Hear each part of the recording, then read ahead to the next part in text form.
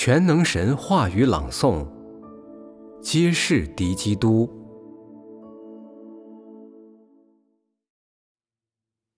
副篇三：挪亚亚伯拉罕如何听神的话，顺服神。二：当神吩咐完挪亚之后，挪亚建造这个方舟用了多少年？一百二十年。在这一百二十年的日子里，挪亚做了一件事情，就是建方舟，搜集各样的活物。虽然说就是这么一件事情，不多，但是这一件事情的工作量是很大的。那做这件事情到底是为了什么？为什么要建这个方舟？做这件事情的目的意义是什么？就是为了当神用洪水毁灭这个世界的时候，各样活物都能生存下来。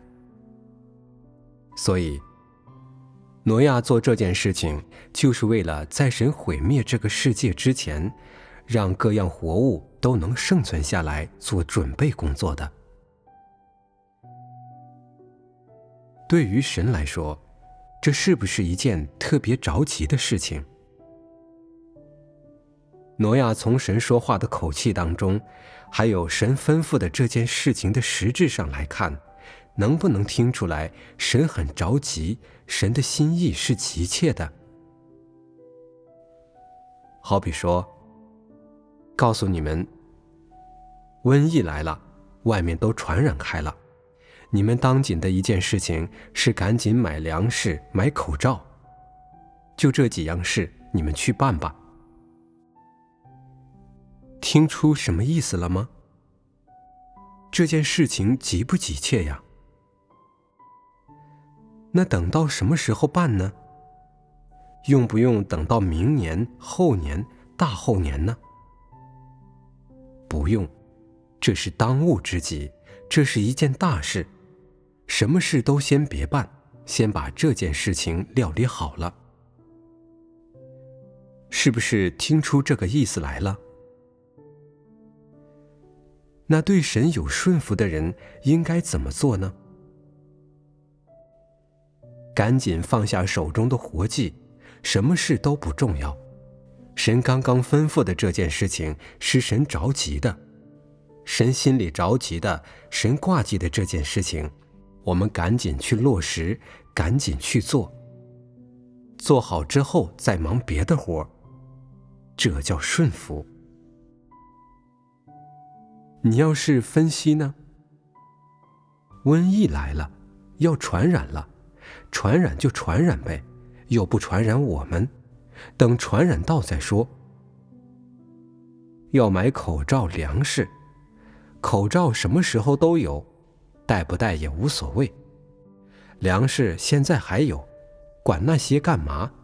着什么急呀？等瘟疫临到了再说，手里的活还忙着呢。这是不是顺服？这叫什么？统称悖逆。具体说就是漫不经心，还有抗拒、分析、研究。在心里加以藐视，觉得这不可能，就不相信这事是真的。这样的态度是不是有真实的信心？整体的状态就是对待神话的态度，对待真理的态度总是拖拖拉拉、漫不经心、大大呼呼，心里根本没当回事，觉得。你说的涉及真理，你讲的高的道，我们听听，赶紧记下来，别忘了。就你说的买粮食、买口罩这点事，不涉及真理，我们可以拒绝，可以在心里耻笑，也可以用漫不经心、置之不理的态度去应对你。耳朵听听就行了。至于我心里怎么想，你不用管了，不关你的事。挪亚对待神的话是这个态度吗？不是。从哪里看出他不是这样呢？这事咱们得讲讲，你就知道挪亚对待神的态度绝对不是这样的。这里有事实可以证明。在那个没有任何工业的年代，任何事情都要凭人的双手去做、去达成的年代，做任何一样手工都是很费力气、很花时间的。当挪亚听了神的托付，听了神所叙述的每一件事情的时候，他感觉到了事情的严重性，也感觉到了形势的严峻。他知道。神要毁灭这个世界了。为什么要毁灭？人类太邪恶，都不相信神的话，甚至否认神的话。神厌憎这个人类了。那神厌憎这个人类是一天两天了吗？是神一时兴起说：“我今天不喜欢这个人类了，我要毁灭人类。”你赶紧给我造个方舟，是这样吗？不是。挪亚聆听完神的话之后，他领会到了神的意思。神厌憎这个人类不是一天两天了，神急切的想毁灭这个人类，让人类重新开头。但是，神这一次不想再造另外一个人类。而是让挪亚有幸生存下来，作为下一个时代的主人，人类的祖先。挪亚领会到神的这层意思之后，他从内心深处感受到了神急切的心意，感觉到了神的那份急切。所以，当神说话的时候，他除了细心、仔细、认真的去听之外，他内心多了另外一样情绪，什么情绪呢？就是着急。这是一个真正的受造之物，在体会到造物主急切心意的时候，该有的一种心情。所以，当神把造方舟的事吩咐完之后，挪亚的心里在想什么？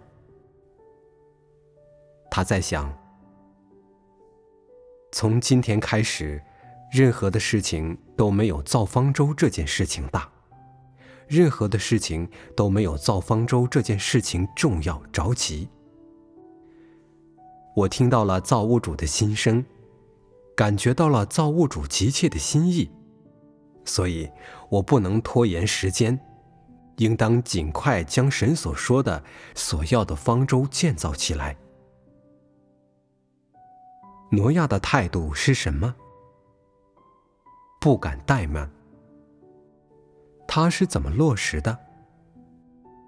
就是不拖延，他尽力的、尽快的按神所说的、所吩咐的每一个细节去做、去落实，没有一点应付糊弄。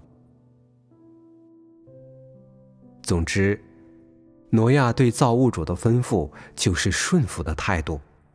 不是漫不经心，不是心里抗拒，也不是爱搭不理，而是在记住每一个细节的同时，用心去体会造物主的心意。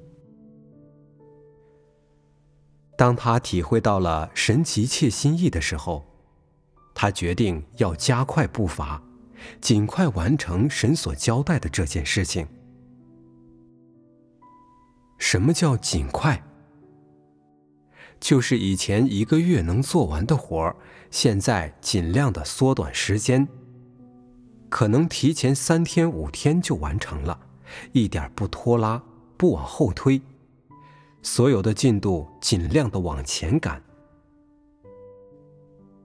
当然，在做各项工作的时候，也是尽力的减少损失，减少失误，尽量使所做的每一样工作都不返工。而且每一样工作、每一样工序都能按时完成、按时做好，保证质量。这就是不拖沓的实际表现。那这个不拖沓是在什么前提下达到的？听了神的吩咐以后，是在这个前提背景下达到的。那挪亚为什么能达到不拖沓呢？有些人说，挪亚有真实的顺服。那它里面具备了什么，才能达到有这样真实的顺服呢？体贴神的心。对了，这叫有心呐。有心的人会体贴神的心，没心的人就是个空壳，是个大傻瓜。他不知道体贴神的心。他的心态是：神多着急，我不管。我该怎么做就怎么做，反正我也没闲着，我也没偷懒。他这样的态度，这样的消极，一点不积极主动，就不是体贴神心的人了。他也不懂怎么体贴神的心。那他有真实的信心吗？肯定没有。挪亚有体贴神的心，挪亚有真实的信心，所以他能把神的托付完成。所以说，对神的托付只是能接受、愿意出点力还不行，还得体贴神的心意，能尽上全力、尽上忠心才行。这就需要人里面得有良心，得有理智，这是人该有的。挪亚具备了。你们说，在那个年代建造这么大的一个方舟，如果拖拖拉拉、不着急、不着慌，一点工作效率都没有，这个方舟得建多少年？一百年能不能建完？可能得几代人不停的建。一方面建造方舟这个固定的物体得多少年？另外，搜集养活各类活物得多少年？这些活物容不容易搜集？都不容易。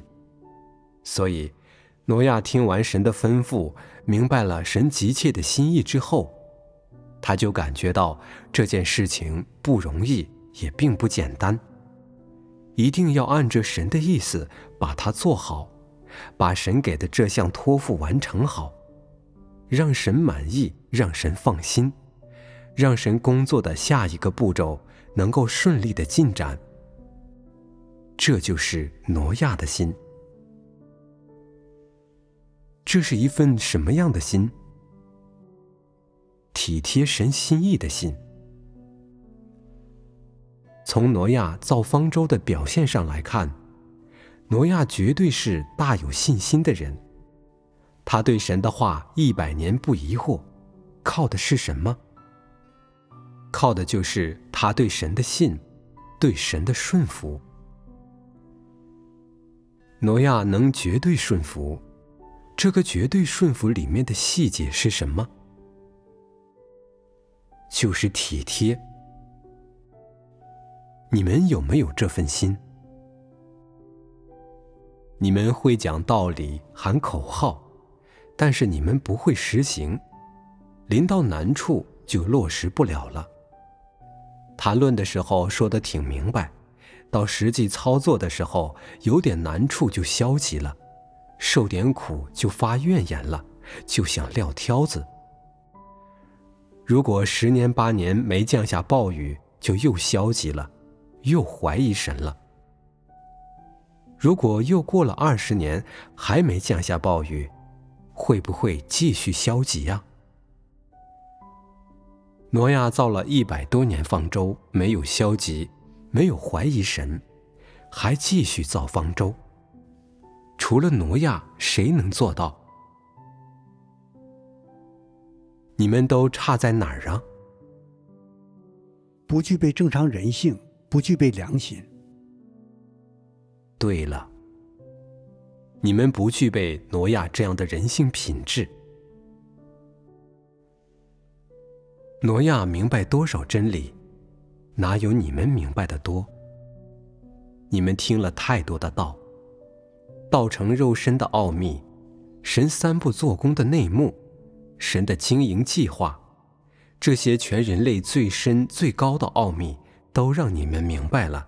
你们怎么还不具备挪亚这样的人性，还做不到挪亚能做到的呢？你们的信心。你们的人性比挪亚差的太多了。可以说，你们没有真实的信心，也没有人性里起码该具备的良心理智。你们虽然听得道多，外表上看明白真理，但是人性的品质、人的败坏性情，不是多听到明白真理，立马就能改变的。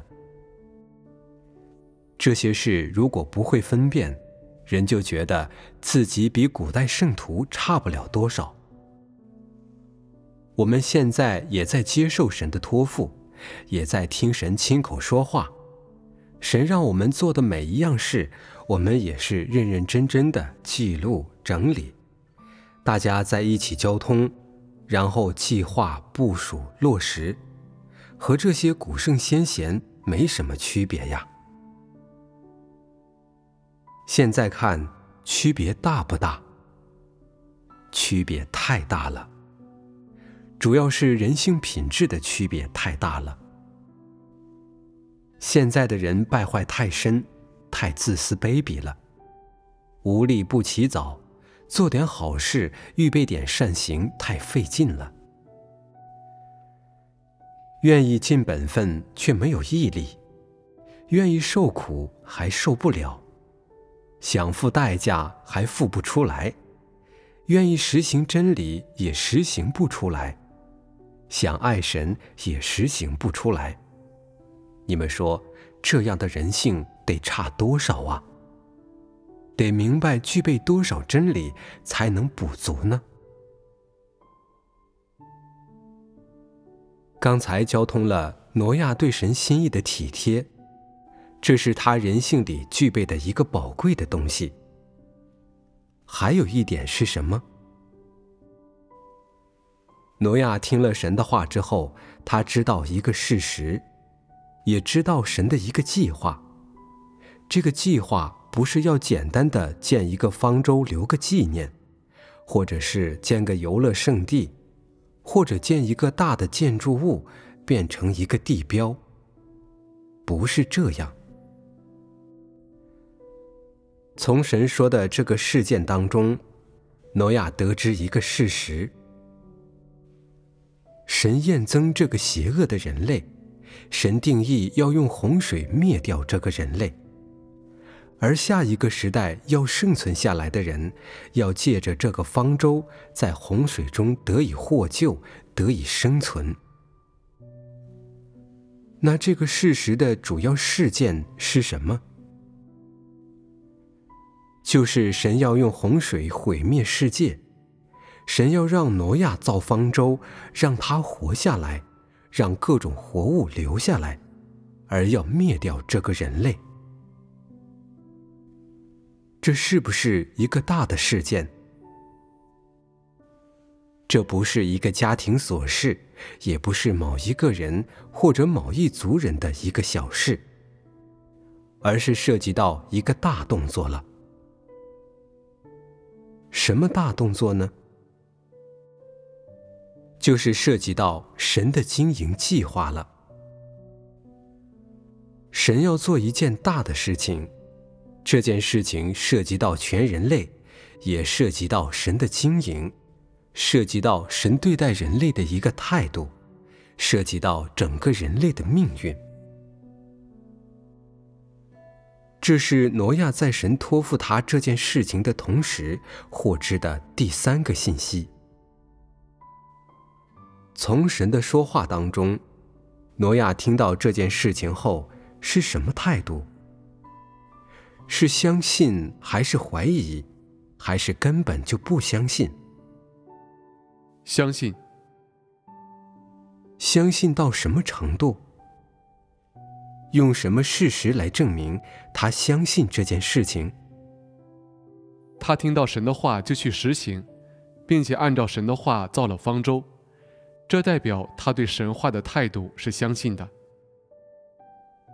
这一系列的表现，从挪亚接受了神的托付之后，对这件事情的落实程度、实行程度，以至于到最后继承的事实上来看，挪亚对神所说的字字句句都是绝对的相信。他为什么能绝对的相信？他怎么就不怀疑呢？他怎么就不分析，就不在心里研究这事呢？这涉及到什么了？对神的信心。对了，这就是挪亚对神有真实的信。所以，对于神所说的每一件事情、每一句话，他不是简单的听一听、接受而已。而是从内心深处能有真实的认识与相信。虽然神没有告诉他洪水什么时间来，多少年以后来，有多大规模，神毁灭了这个世界之后又怎样，等等这些细节，但是他相信神所说的已经是事实了。他对待神的话，不是像对待一个故事、一个传说、一种说法、一种文字那样，而是从内心深处相信、确定神要这么做，神定义要做成的事，没有人能改变。而人对待神话语的态度，对待神要做成的事情的态度，只有一个，就是接受这个事实。顺服神所吩咐的，配合好神让人配合的就够了。这是挪亚的态度。正因为挪亚有了这样的态度，不分析、不研究、不怀疑，从内心深处相信，然后决定配合神所要求的、神要做成的事实。最终才达成了方舟被建造起来，各样活物被收留而存活了下来这样一个事实。如果挪亚在听到了神说要用洪水灭掉这个世界的时候，他疑惑，不敢完全相信，因为没看到，也不知道什么时候发生，这里面有很多未知的事情。那他建造方舟的心态与信心，是不是会受到影响，有所变化呢？什么变化呢？也可能在造方舟时会偷工减料，不按照神要求的规格去做，不按着神所要求的把各类活物都收留到方舟里。神说要一公一母，他说。有的有个母的就行了，有的找不着就算了。洪水灭世那事还不知道什么时候能成呢。建造方舟、收留各类活物这一件大事，做了一百二十年。挪亚如果不具备对神话真实的信，能不能坚持这一百二十年？绝对不能。外界的干扰，家人的各种怨言，对于一个不相信神所说的是事实的人来说，这个事是很难完成的。更何况历经一百二十年。上次我问你们这个时间长不长，大家都说长。我问你们能坚持多长时间？最终问到十五天的时候，你们也没有人说能坚持，我的心就凉了半截。你们这些人与挪亚相比，差得太远了，连挪亚一个犄角都不如。他信心的十分之一，你们都不具备，你们太可怜了。一方面，你们的人性人格太低。另一方面，你们对真理的追求可以说基本上是没有，所以你们对神产生不了真实的信心，也没有真实的顺服。那为什么你们能坚持到现在？我交通的时候，你们还能坐在这儿听呢？你们就具备两方面：一方面，多数人还想做个好人，不想做坏人，想往好道上走，有这么点心智，有这么点好的意愿；另一方面，就是多数人都怕死。怕死到什么程度呢？只要外面一有风吹草动，有些人尽本分就有点劲。等外面的事平静了，人就贪享安逸了，尽本分的尽也小多了，总体贴肉体。与挪亚真实的信相比，你们的这些表现有没有点真实的信呢？没有。我看也是这样。就是有点信，也是小的可怜，都经不住试炼的检验。我从来不做工作安排，但是我常常听到工作安排内容的前缀有这样的话：现在各国形势严重混乱，世界潮流越来越邪恶，神要惩罚这个人类了。我们应该怎样达到合格的尽本分，为神献上忠心？现在瘟疫越来越严重了，环境越来越恶劣，灾难越来越大，人都面临病痛、死亡的威胁。我们只有信神，来到神面前，多多祷告，才能避免瘟疫。只有神是我们的避难所。面临现在这样的形势，这样的环境，我们应该怎样预备好善行？应该怎样装备真理？这是当务之急。今年的虫灾特别大，人类要面临饥荒，紧接着就面临强盗四起，社会不安定。所以，信神的人应该常常来到神面前祷告，求神保守。要保持正常的教会生活，保持正常的灵生活，等等。前缀说完之后，下面就开始做具体的安排。历次的这些工作安排内容的前缀，对人的信心都起了及时的决定性的作用。我就纳闷了。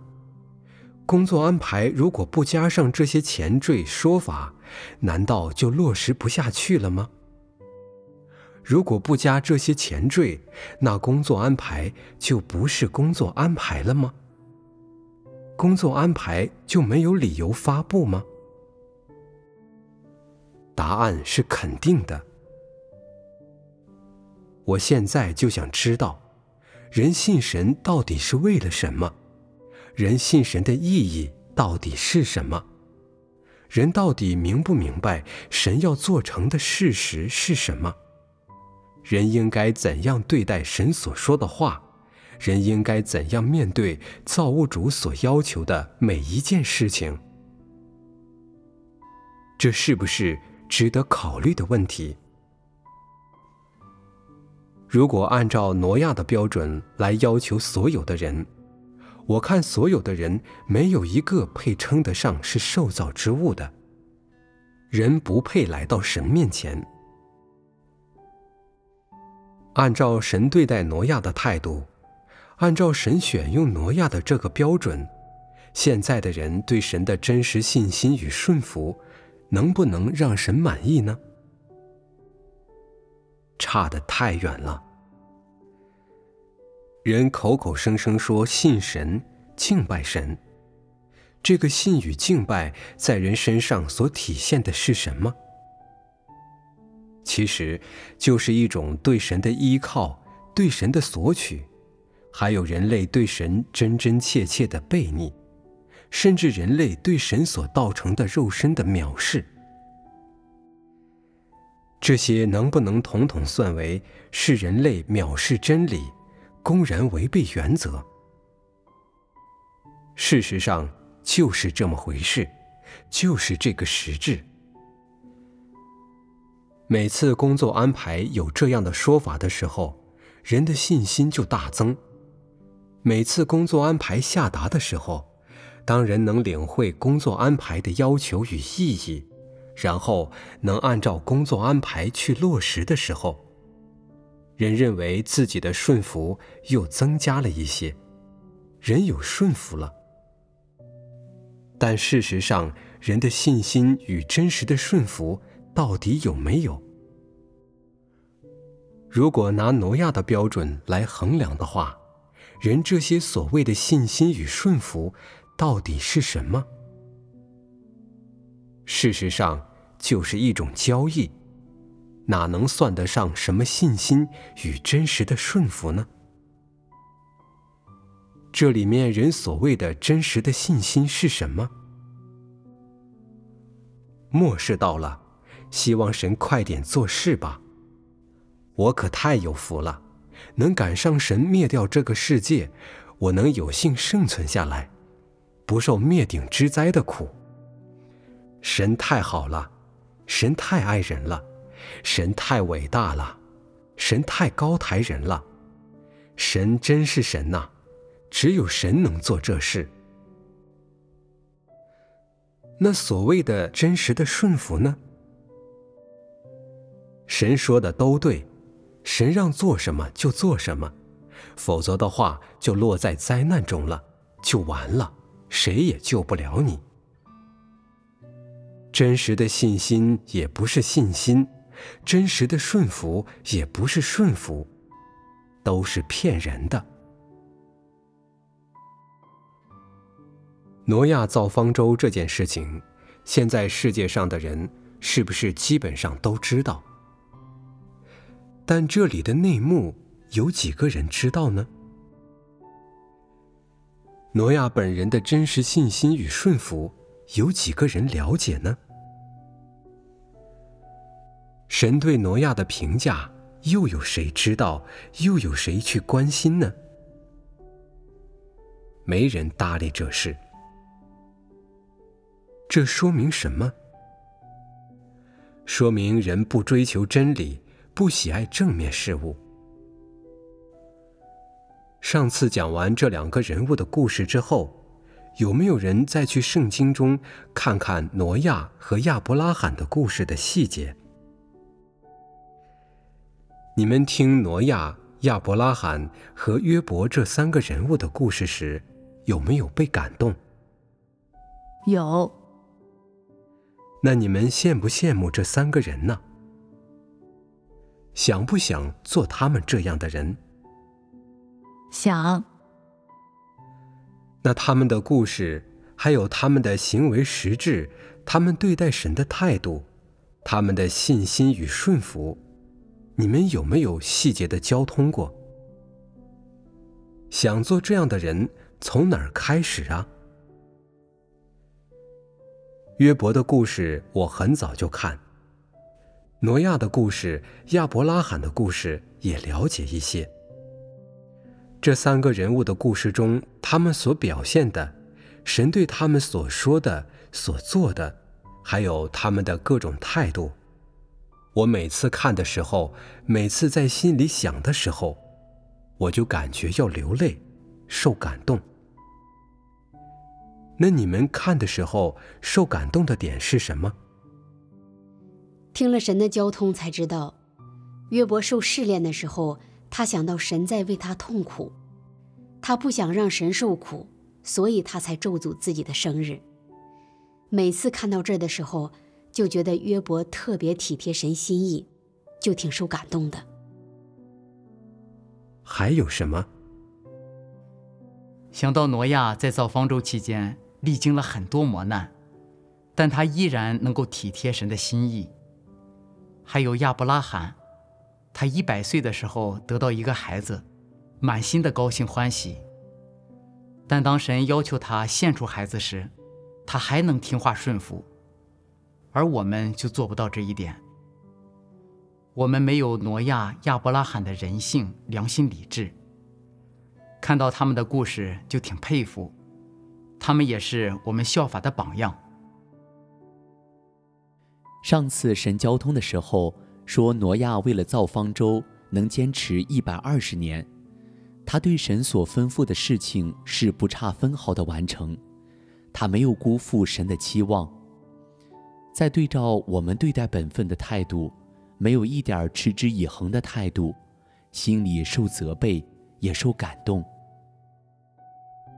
都受感动，是吧？这个话题先不交通，等交通完挪亚和亚伯拉罕的故事之后，咱们再交流交流。我告诉你们，我受感动的地方在哪儿？看看咱们受感动的点一不一样。刚才交通到挪亚对神真实的信，从挪亚造方舟这个继承的事实上，已经看到他对神真实的信了。挪亚真实的信表现在他的一举一动、一个心思意念，还有他对待神吩咐他所做事情的态度上，这就足以看到挪亚对神真实的信。这个信。是不容任何人怀疑的，是没有掺杂的。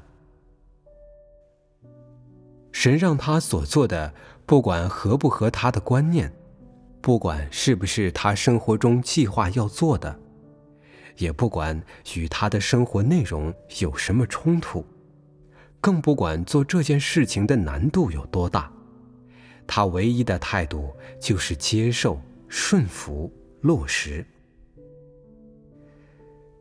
最终，从事实上来看，挪亚所建造的方舟救活了各样活物，也救活了自己一家人。当神将洪水降下来，开始毁灭这个人类的时候，方舟承载着挪亚一家人与各类活物漂在水上。神毁灭这个世界，降了四十天的大雨。除了挪亚一家八口和进入方舟的各类活物生存下来之外，其余所有的人和活物都被毁灭了。这个事实让人看到了什么？因着挪亚有真实的信，对神有真实的顺服，也就是通过挪亚与神的真实配合，使神所要做的如愿以偿。变成了现实。这是神看重挪亚的地方，他没让神失望，他不负神的重托，完成了神给他的托付。挪亚能完成神的托付，一方面是因着神的吩咐，另一方面主要是因着挪亚本人真实的信与对神绝对的顺服。正是因着挪亚具备了这两样最可贵的东西，他成了神所爱的人；也正是挪亚具备了真实的信心，具备了绝对的顺服，他才能成为在神眼中应该存活下来的人，也是配存活下来的人。而除了挪亚之外，其他的人都是神验憎的对象。言外之意。他们都是不配活在神所造的万物中间的角色。通过挪亚造方舟这件事情，我们应该看到的是什么？一方面，看到挪亚身上高贵的人性品质，他有良心、有理智；另一方面，看到他对神真实的信、真实的顺服，这些都是值得人效法的。正是因为挪亚对待神的托付有这样的信与顺服，挪亚成了神眼中所喜爱的对象，成了神所爱的受造之物。这是一件有幸的事，也是一件有福的事。这样的人才配活在神的面光之中，在神看才是配活着的人。配活着的人是什么概念？就是配享受神所赐给人类的一切可享受之物，配活在神的面光之中，配接受神祝福应许的人。这样的人是神喜爱的人，是真正的受造人类，是神所要得着的人。